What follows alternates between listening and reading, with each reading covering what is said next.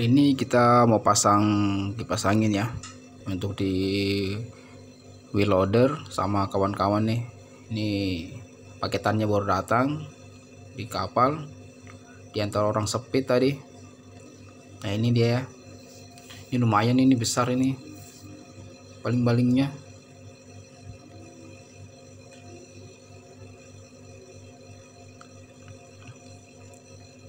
Ya ini sudah pasang